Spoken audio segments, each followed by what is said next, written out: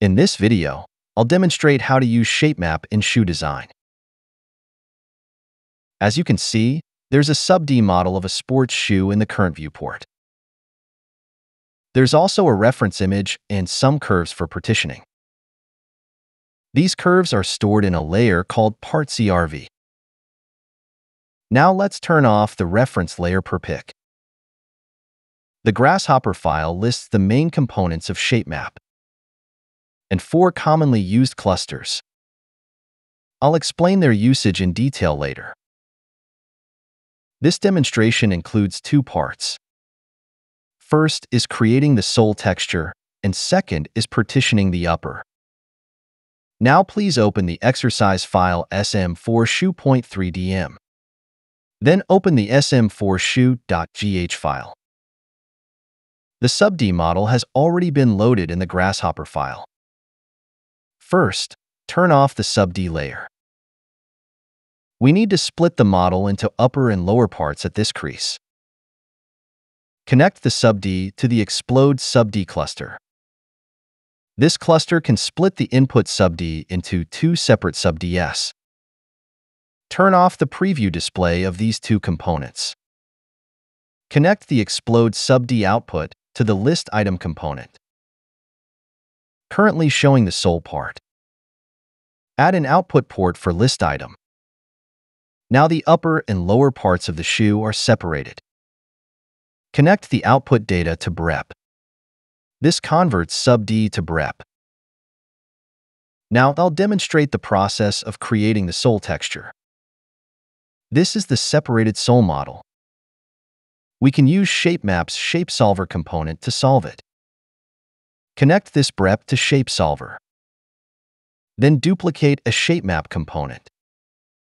This component can unwrap 3D shapes onto a plane. Note that two lines need to be prepared before unwrapping. Line 1 serves as the reference line before unwrapping. Right-click on Line 1 input and select Set 1 line. Set points at approximately the left and right ends of the 3D shape. Line 2 serves as the reference line for the unwrapped result. It determines the placement of the unwrapped result. Now we can connect solver data. This is the unwrapping effect. For this kind of semi-closed shape, we need to adjust the method parameter. It's recommended to change the value to 1, not 0. When the value is 0, the flattened result will show shrinkage. When the value is 1, the flattened result will be more uniform. We can also maintain the same area after unwrapping as the original area. Set the Boolean value to true. This makes it easier for us to compare. I'll move line 1 a bit further away. Now we've completed the line 1 setup. Now we've completed the unwrapping process from 3D to plane. Based on the unwrapped outline, we'll continue with the next step. Use the boundary surface component to create a surface. Then create texture based on this surface. Going back to the example shown earlier, this sole texture is created based on the Voronoi algorithm. Now let's create a Voronoi pattern on this surface. First, use the populate geometry component to create some random points.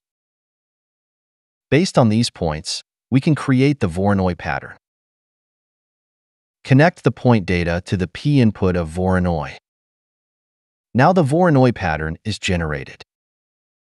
Note that many curves extend beyond the boundary. Now we need to handle these extended curves. We can solve this using the project component. Project these curves onto the BREP. The D input defaults to Z direction, which is what we need.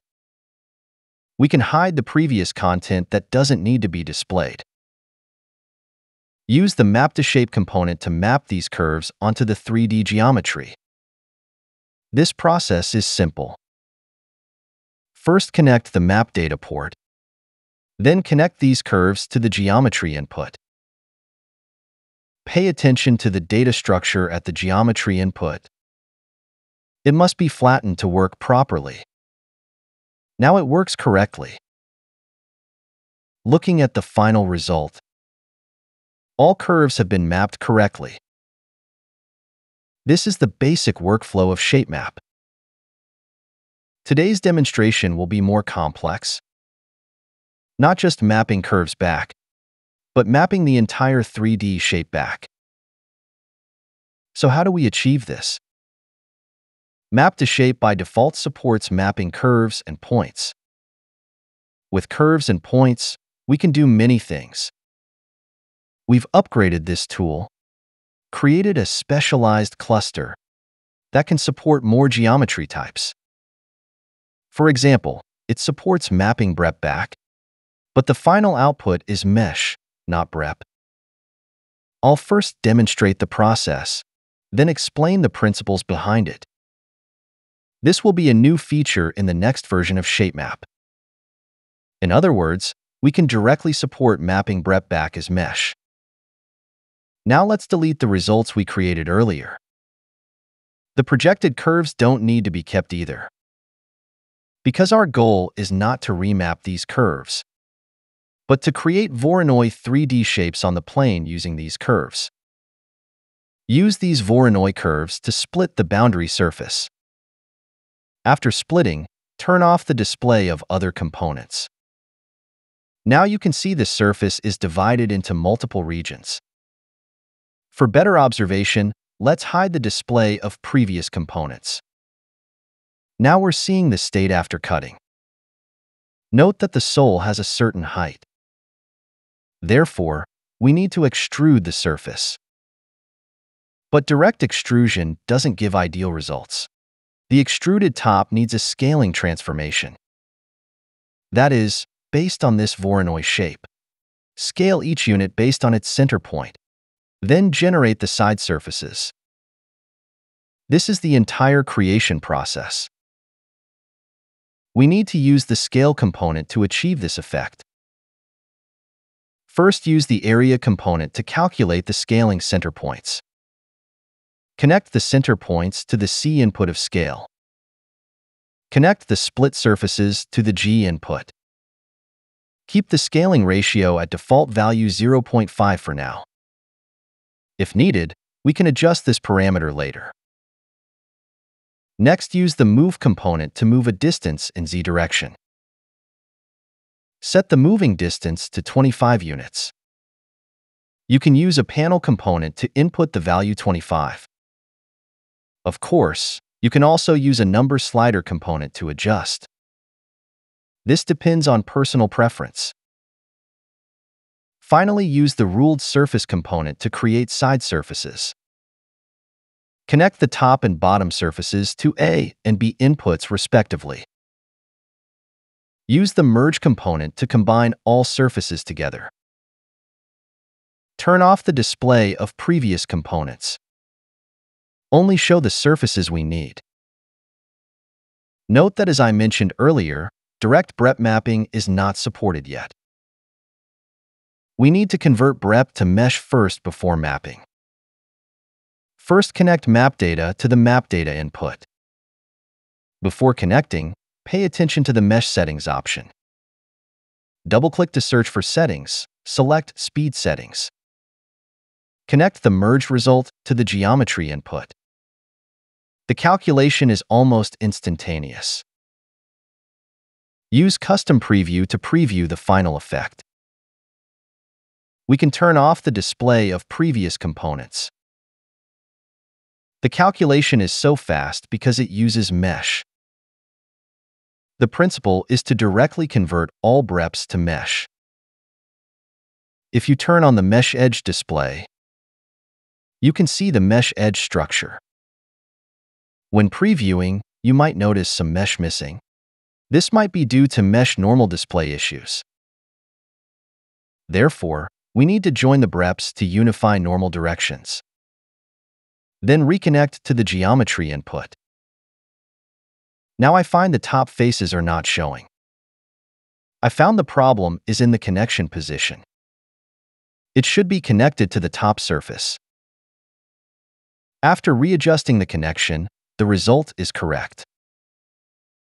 If you need a smoother effect now, you can input the shortcut setting to find the custom option. Speed option is more suitable for quick preview of overall effect. But if you turn on the previous sub D display, you'll find the texture doesn't fully match. If you want the shape to be closer to the original reference shape, you need to use custom settings. It will take relatively longer to calculate. Previously using speed only took 108 milliseconds. Now it needs 4 seconds. Now turn off the Preview Mesh Edge option. This way many details are preserved. However, it still has some places that don't fully match. Then we need to adjust the conversion parameters. For example, we can constrain the maximum edge length, such as not exceeding 5 millimeters. You'll find this problem is improved. It will create a more detailed mesh structure.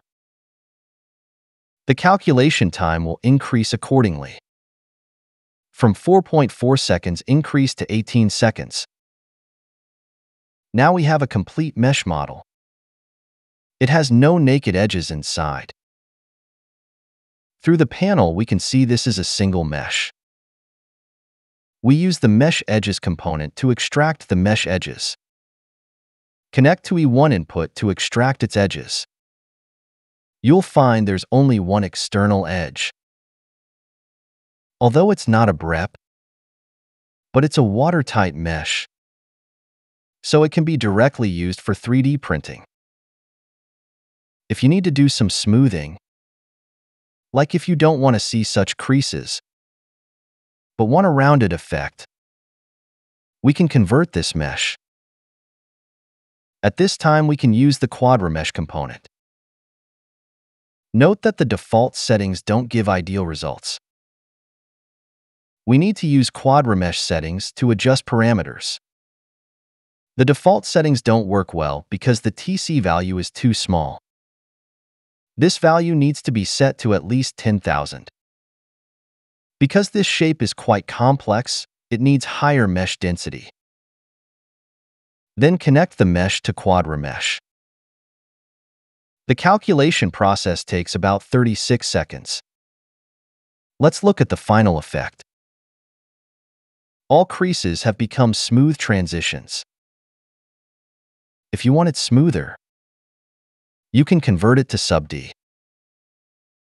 Double-click, search for sub-D, and connect the mesh. This gives us a very smooth effect. Bake the sub-D model into Rhino. Close the Grasshopper window. Now this texture has a nice smooth effect. This effect is actually very difficult to achieve if modeling directly with NURBS. This is a complete solution from creases to smooth effect. Since sub-D calculation takes relatively long, we only display mesh during preview phase. Above is the complete process of using ShapeMap to create sole texture.